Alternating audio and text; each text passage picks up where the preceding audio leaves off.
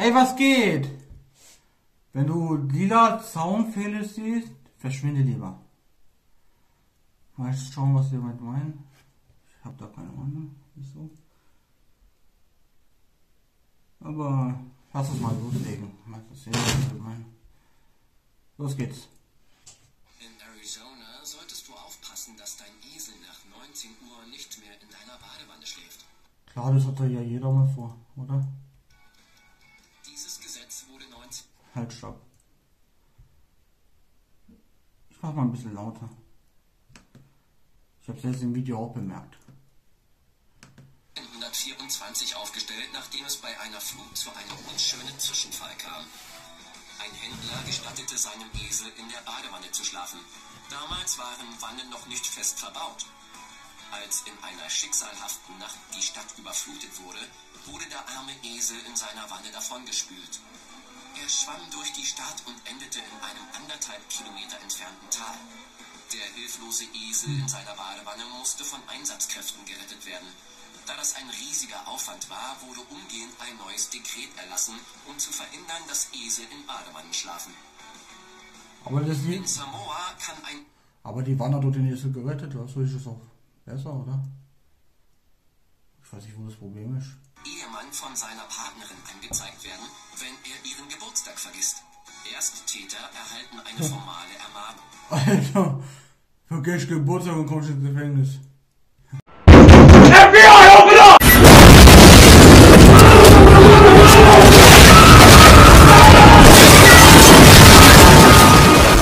Es wird erwartet, dass ausreichend Vorkehrungen getroffen werden, um das Ereignis im folgenden Jahr nicht wieder zu vergessen. Vergisst der Ehemann ein zweites Mal den Geburtstag seiner Frau, muss er eine Reihe ernster Gespräche über sich ergehen lassen.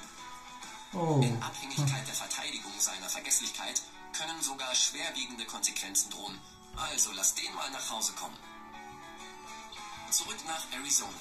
Hier brauchst du eine spezielle Genehmigung, um einen Saguaro-Kaktus von deinem Grund und Boden zu entfernen. Ah, das gibt's ja. Erlaubnis kann dich das schnell für drei Jahre hinter Gitter bringen. Diese Kakteen Ja, die wachsen sehr langsam, deshalb. werden bis zu 200 Jahre alt.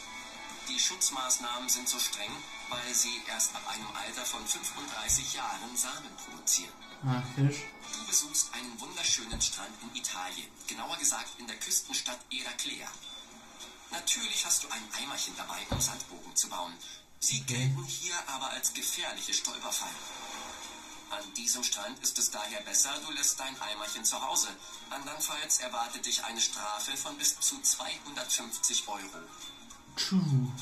Wenn du in den Wäldern der USA eine einsame Straße entlang fährst oder wandern gehst, begegnen dir womöglich in strahlendem Lila Alte Freunde. Zäune, Zaunpfähle, Ich erfahre, was ich damit meine. Pfähle oder gar Vielleicht ist es Grundstückabmessung oder so. Bäume. In mehreren Staaten warnen solche Markierungen davor, Privatbesitz zu betreten. Ah, dachte ich mir. Man verwendet die Farbe statt Schilder, weil sie einfach billiger ist und länger hält. Im letzten Jahrzehnt wurde diese Praktik in 15 Staaten eingeführt und wird sich sicher weiter ausbreiten. Halte also die Augen nach solchen Markierungen offen. Eines Tages stellten die Behörden von Singapur fest, dass jährlich 150.000 Dollar für die Entfernung von Kaugummis ausgegeben werden. Ah, das wissen wir schon. Und zwar nicht nur Ist verboten jetzt. unter Stühlen und Tischen, Was jetzt ist schon, glaube ich, 20 Jahre oder so. Oder länger. sondern auch an kritischen Stellen an U-Bahn-Waggons, wodurch Sensoren gestört und Verspätungen verursacht werden. Daraufhin wurden Kaugummis 1992 Ha. Verwählen wir in Deutschland Kaugummis, fand, fand die immer pünktlich.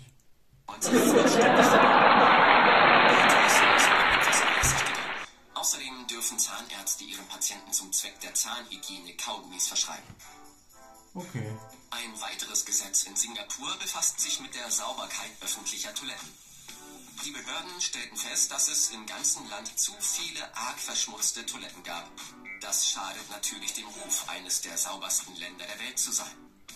Daher wurde eine Überwachung durch Toilettenagenten eingeführt. Sie kontrollieren Toiletten und achten darauf, dass sie stets sauber sind. Geschäfte, die die hohen... Hier ist nur noch sieben. Ich kontrolliere mal eure Toilette. Hygienestandards sind. Das ist eine belebten Straße in Thailand unterwegs und dir hm. fällt ein Geldschein runter. Nicht drauftreten.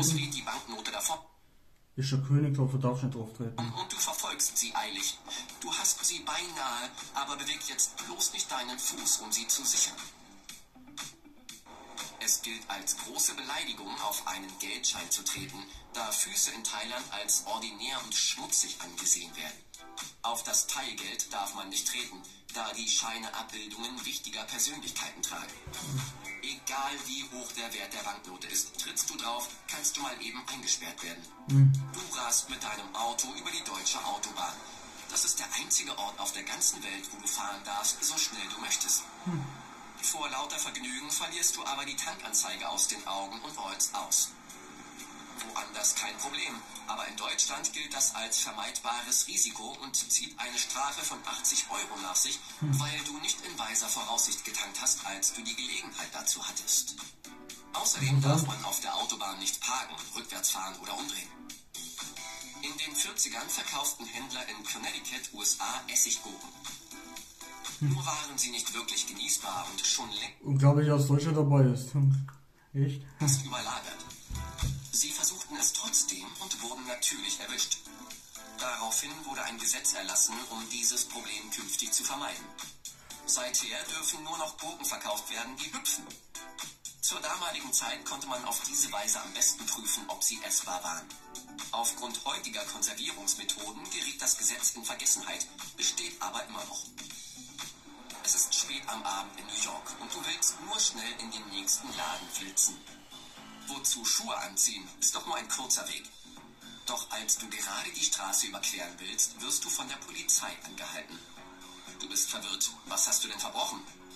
Tja, du wirst verhaftet, weil du nach 22 Uhr mit Latschen draußen bist. Man glaubt, dass stinkende Schlappen, Ratten und anderes Ungeziefer anlocken würden. Im Schlafanzug rausgehen ist wiederum in Ordnung.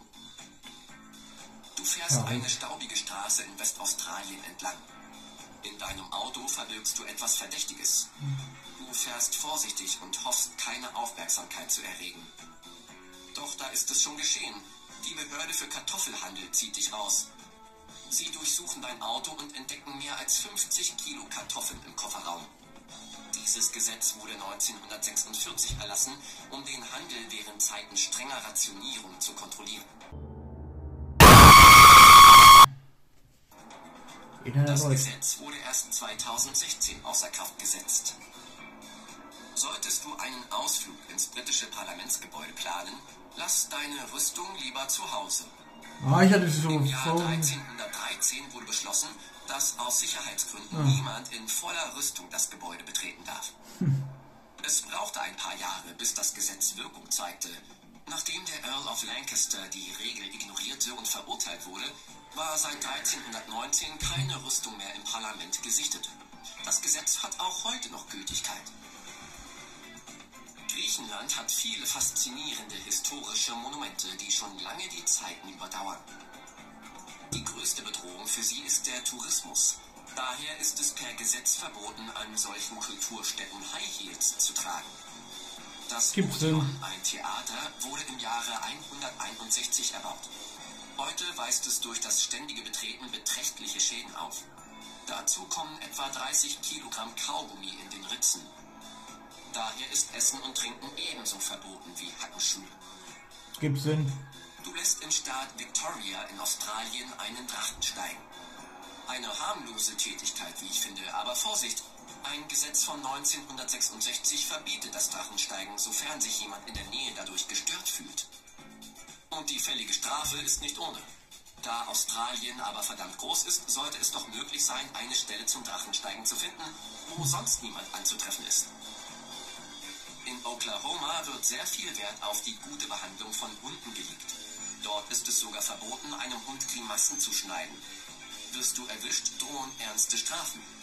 Mag seltsam klingen, könnte aber ruhig zu einer universellen Regel erhoben werden. Es sei denn, der Hund schneidet dir Grimasse. Okay. Das war's. Ich bedanke mich schon fürs Zusehen. Wir sehen uns morgen wieder. Tschüss. Mann, Mann, Mann.